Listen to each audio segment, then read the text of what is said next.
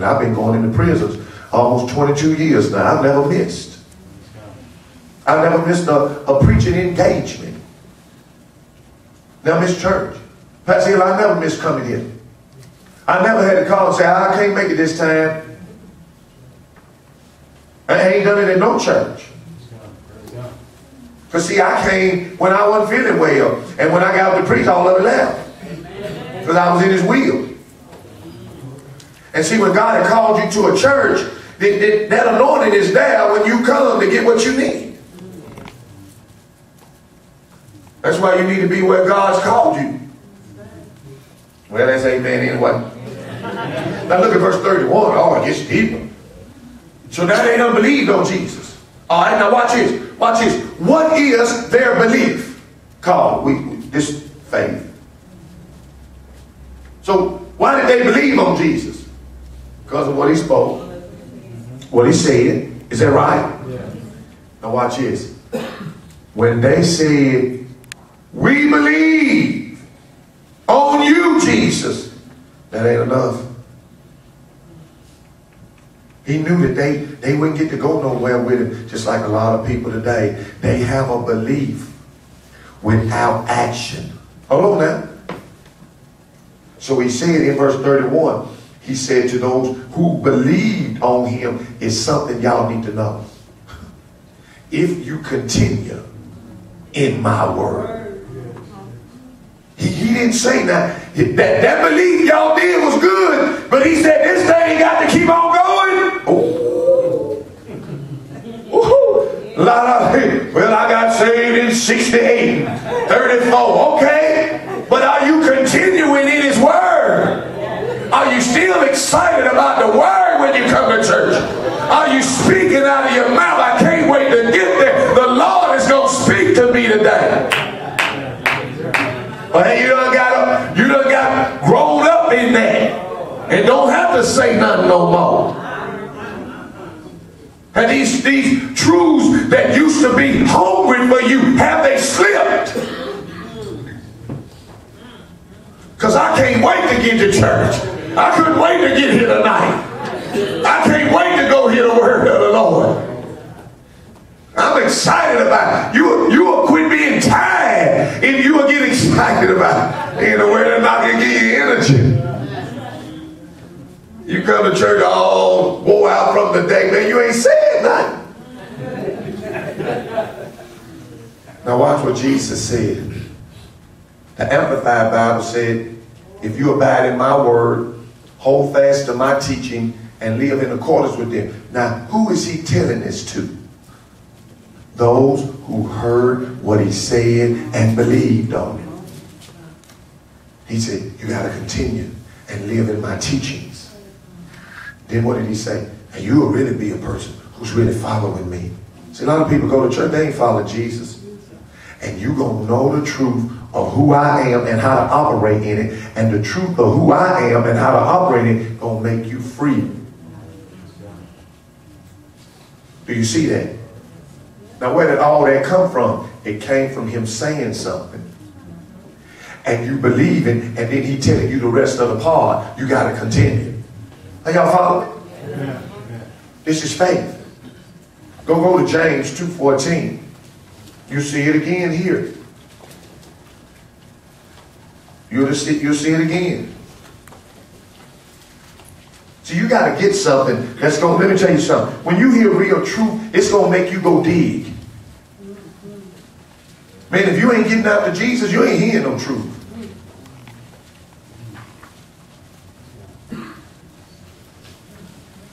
You should get out to Jesus.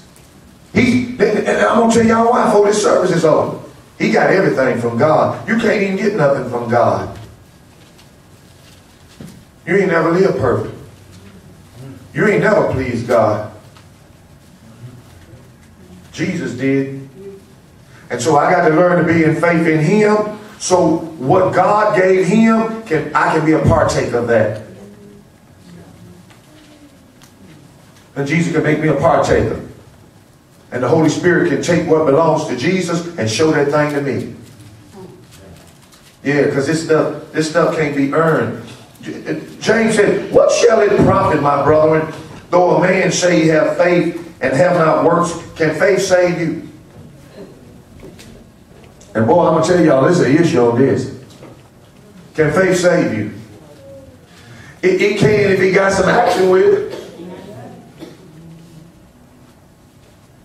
Let me, let me tell y'all, you don't believe that you could say, uh, Jesus, come in my heart, and then you just going to heaven no matter how you live, do you? You don't think that, do you? I hope not. Because, because Jesus didn't teach this. He said, my path is narrow. And he's a gift. But God so loved the world, he gave his only begotten son that word, whosoever believeth in him, has to have some action of, of you having true repentance. Where you have repentance that, that, that, that show God has changed your heart. And when God ain't changed your heart, then you're just saying stuff. And James tell us, what, what did it say? Let me see that uh, uh, in uh, James 2.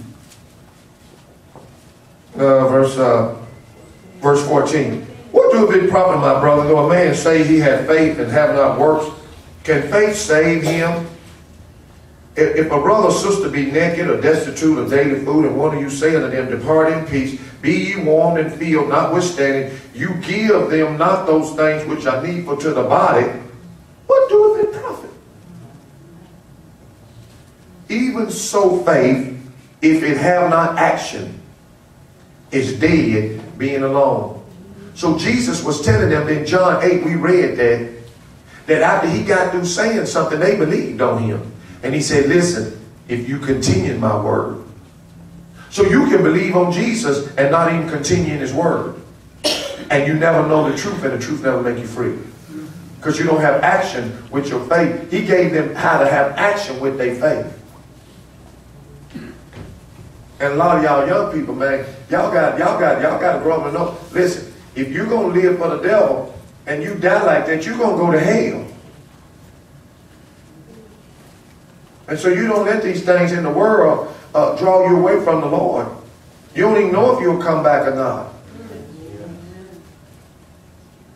These ain't, this ain't the time to be, because Jesus coming back soon. This ain't the time for you to be playing with God. It's amen anyway. Amen. And, and, and, look, look now. Uh, verse uh, 17. Even so faith, if it have not works, it's dead being alone. See, if you don't continue in his word, he's saying your faith dead. Are y'all following? Yeah. Soon as they believed on him, he, he, he taught them action with their faith. They had to continue. Hold fast to his teaching. Live in accordance with them. Then they would be his disciple indeed. And then they would know the truth and then the truth will make it free. You can't be no disciple calling you one. Jesus said in John 13, 34, a new commandment I give you, that you love one another as I love you. He said, he said, by this shall all men know you are my disciples. You ain't a disciple because you pray in tongues. But I pray in tongues. You're not a disciple because you, you operate in the gifts of the Spirit. But I operate in the gifts of the Spirit as Spirit wills. You, are not, you're, not, you're not a disciple because you come to church, but I, I, I ain't never missed church. You're not a disciple because you read the Bible, but I read the Bible every day. You're not a disciple because you pray every day, but I pray every day. You're a disciple when you believe in his love and act like it every day. When your faith in his love has action. There's something you're continuing in about him. And what he say and what he do. And watch this here, watch this here, watch this here, verse, verse 17. Even so faith, if it have not works, is dead, being alone. Yea, a man may say, Thou hast faith, and I have works. Show me thy faith without any action. See, just and, and tell me, tell me what faith is. Come on, y'all. faith is Jesus, but but Faith is you saying. Faith is saying something. Faith is saying something. You say, for instance, I'm saved. And what was that? What was that? That's faith. But if you don't live right, that's dead. Well, the Lord delivered me from cigarettes, but you still sneak and smoke. Huh? Well, I'm free from pornography, and you still sneak on the computer and watch it. That stuff's dead. Oh, I know I'm going to heaven, and you drink every day.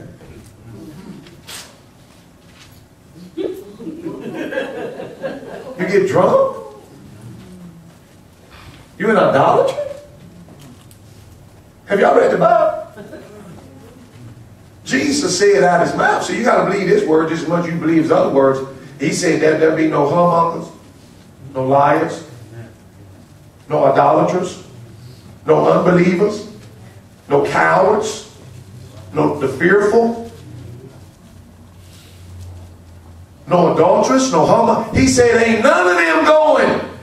They going to the lake of fire. But, but I'm saying you in for a rude awakening, taking that dead faith and dying with that.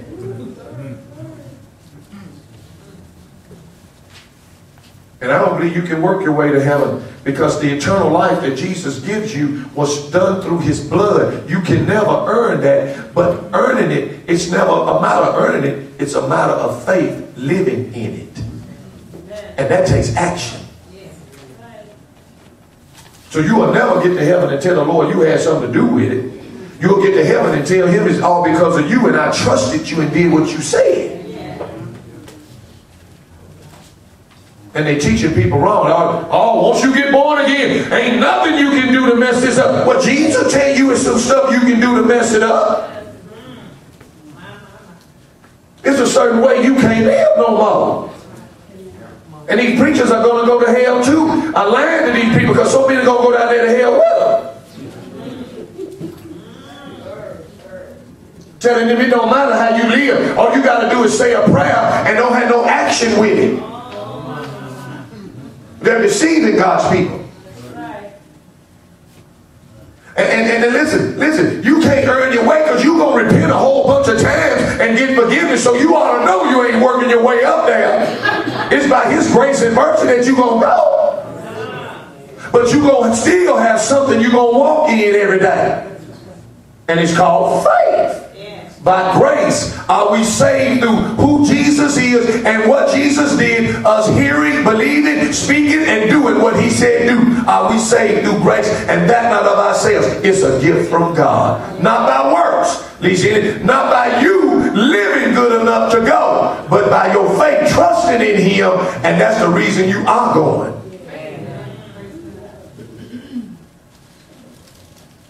Y'all, y'all better get this right so you can tell people. Because they scared to tell people they're going to go to hell. The only thing can get you into heaven is the blood. Amen. You can't be in the blood and be an idolater. You can't, you can't be a humbug and be, be, be in the blood. There was a preacher over in uh, Africa, somewhere over there. He got mad at his wife.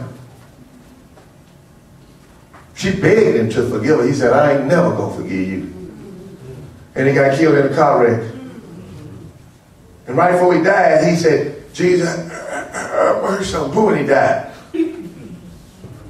So the angel came right then, took him up to heaven, and then took him to hell. He said, uh, and the angel said, we want you to have a glimpse of what you missed. and then he went to hell, and the angel had the book and said, well, if God closed the book right now, this is where your home would be. He's, and this is what the preacher said. He said, no, I'm born again. No, I'm filled with the Spirit. I'm a child of God. And, and, and the angel said, no, you didn't forgive your wife. You, did you read what Jesus said? If you don't forgive, neither will my Father which is in heaven forgive you. I know, I know they, they want to call that Old Testament teaching. Okay. See, they're sending people to hell. Because they're not believing Jesus' words. We should have faith in them words. Unforgiveness should scare us because how in the world you going to be forgiving of everything you done did wrong and you're not going to extend that to end. You ought to be glad to forgive. I forgive you quick because I am so glad he don't remember nothing that I ever did wrong and now I'm feeling not remember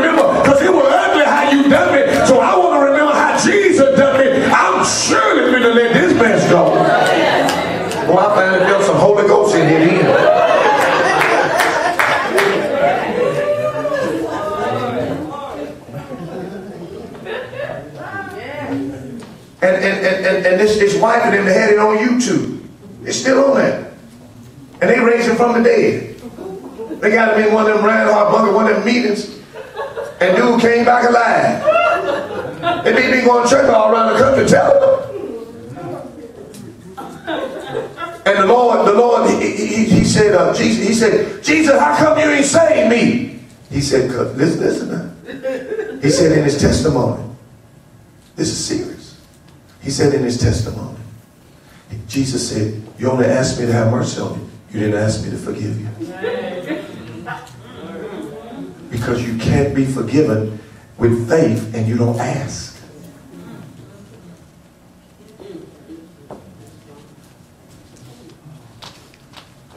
And you can't die like that.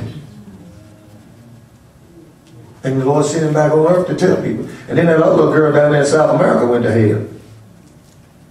I mean, she told us Michael, she saw Michael Jackson, but that wasn't nothing new.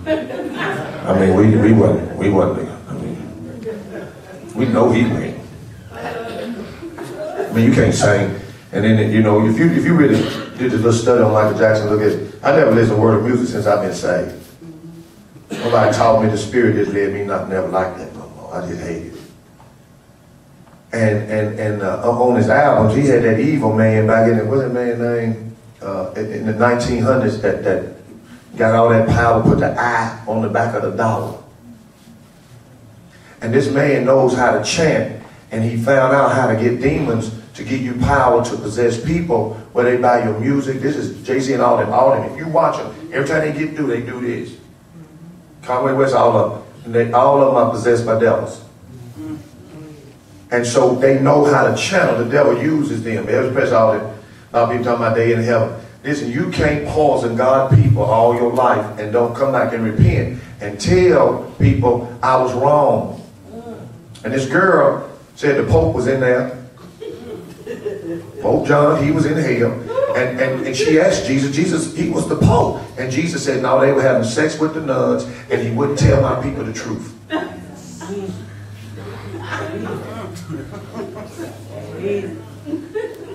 And they said demons were in hell dancing backwards because that's where Michael got that from. from and that's why he had to go to sleep so much so, so that he could get in the realm with the devil where he could give him music. And if you listen to all this music, it was scary, it was fearful. He looked like monsters. And, and you look you look at them thrilling, all that, all that's demonic. All that mess is demonic.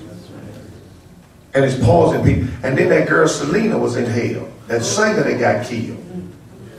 And, and, and, and she, she was begging Jesus for another chance. And Jesus said, I can't. He says, it's, it's over.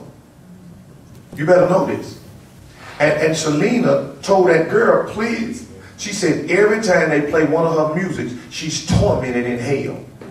And she said, please tell them stop playing my music. And then they sit here and they had these funerals and they exalt people and they exalt people and never exalt Jesus.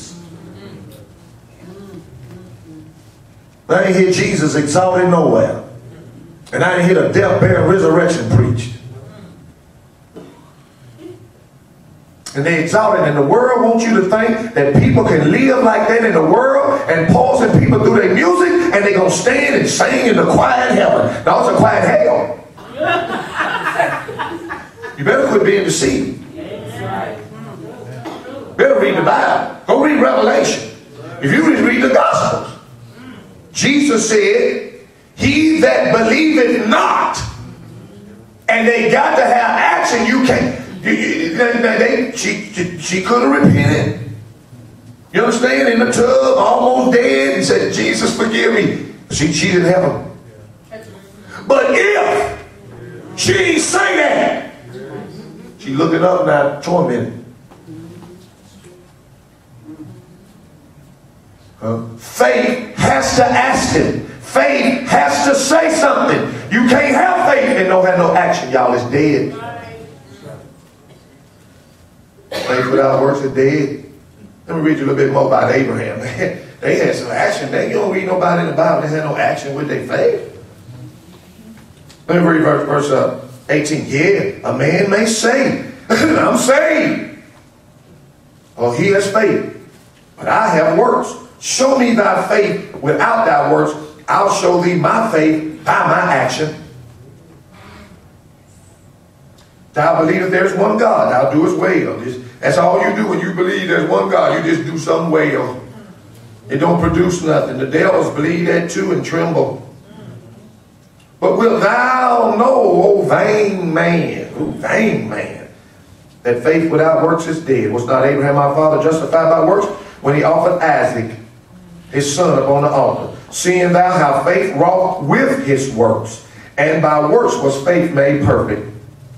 And the scripture was fulfilled, which saith, Abraham believed God, and it was imputed unto him for righteousness, and he was called a friend of God. So you see then that how by works a man is justified and not by faith.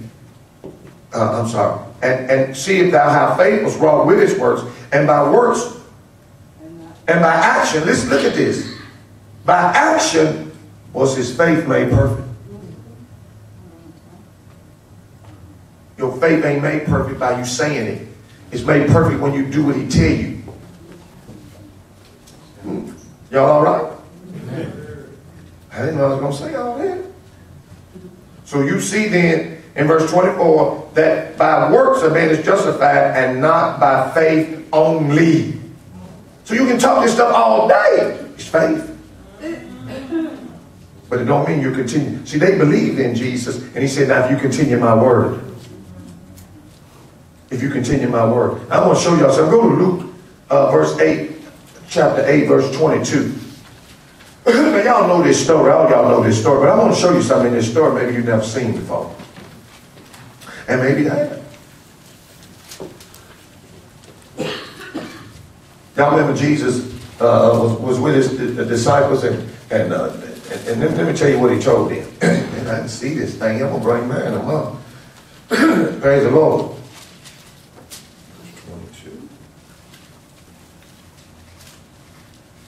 Now it came to pass on a certain day that he went into a ship with his disciples and said unto them, Let us go over to the other side of the lake.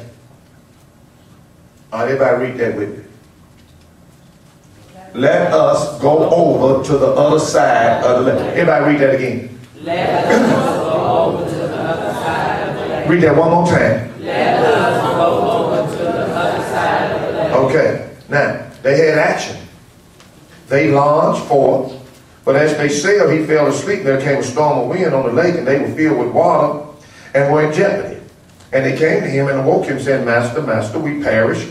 Then he arose and rebuked the wind, the raging of the water, and they ceased, and there was a calm. Now watch it. Jesus said unto them. Now what Jesus asked him? Now see, if you don't understand this, man, you you you, you got to see this to, to get this far. All right, let me break down. What is faith? Who Jesus is, the one sent from God, what? And what did he do? He took my sins away. They didn't have it, he took their sins away, but they did have who he came from. So they asked, they, they, Jesus asked him, where is your faith? Now, what was he asking him? Believe what? What? What did he say? That's what they didn't believe. When you missing it, you ain't believing nothing he said.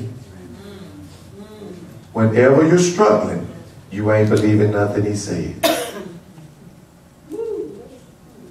All they had to do was say, Jesus said we going over to the other side, we can stop. That's all they had to do was tell you what Jesus said. Everything. Oh, obey Jesus. Y'all didn't I said everything. Oh, obey. And they said, what kind of man is this? Even the wind, but what they missed was not only did the wind obey him and the waves obey him and the water obey him and the storm obeyed him, but it'll obey you if you'll say what he said. If you'll say what he said, Jesus gave me authority to cast you out. They, they had to come out. Jesus said, when, when a man, I was preaching, and this man, man, I used to know him from the streets. He, he was a murderer. And uh, he did, he killed a girl when he was in the 60s, did 12 flat years uh, uh, 13 years was a life. And then he got out. And he cut her arm and neck off, her legs and arm, just, just, just cut all the pieces. And, uh, and so we would be gambling. He'd be mad because he lost his money. He'd just pick a fight with somebody. He'd go in his pocket. We, we all got back from taking, threw him some money, come, him leave. And, and, uh, but, but he, he was a knife expert. He wasn't, he wasn't nothing to play with, man. He wanted to kill some people was messing with me. These were my buddies. I said, no, they, they all right with me. Because he didn't like the way they were talking to me. You know, we just talk like that. But he didn't like that. And I had to tell him no. Or he would have hurt them. He just stuck him in the neck, man. They let him bleed to death. And so he got his hand, he said, if you don't quit that preaching, I'm going to stab you. And then he started crying. I remember every time he cried, all of them got back. Whenever he cried, he meant it. He didn't, he didn't talk the dozen. He didn't play. And so I told him. My faith. I said, oh, the Lord ain't going to let you hurt me. And I ain't never going to quit preaching Jesus. I said, God, and I started crying. I said, the Lord ain't going to let you hurt me. Because I didn't want Jesus, when this man know how to use knives, ask me, where's my faith? I done shot my, I done pulled my knife out and shot him. He pulled the knife out to stab because I, I, I kept telling him, God ain't gonna let you hurt me. He pulled the knife out and was paralyzed. And his arm, his hands were locked like this. And he was froze like a statue. Couldn't move. Eyes couldn't move, couldn't blink. Just froze. And I walked around, the knife fell on the floor. He already had it open too. And, and, and, and, and, and uh, I picked the knife up and said, I told you God wasn't going to let you bother me. Listen, my faith had to have a voice. Jesus said, nothing shall by any means hurt me. Come on, y'all. You ain't supposed to be scared of nothing. And I'm not telling you to leave your door unlocked, but I'm telling you, if you have faith, if you have faith, you can leave your door unlocked. Because all you do is tell that door, say in the name of Jesus, I plead the blood of Jesus around all my doors, and nothing by any means will come in and hurt me. Ain't nothing coming. When that devil see that bloodline right there, he can't come in there. I said, he, and you ought to have that bloodline around your house anyway. Because when I was out there in the world, we didn't no lock stop us from coming in if we wanted to come in. We keep those in. Ain't no lock stop nothing. What kind of lock you had? One foot.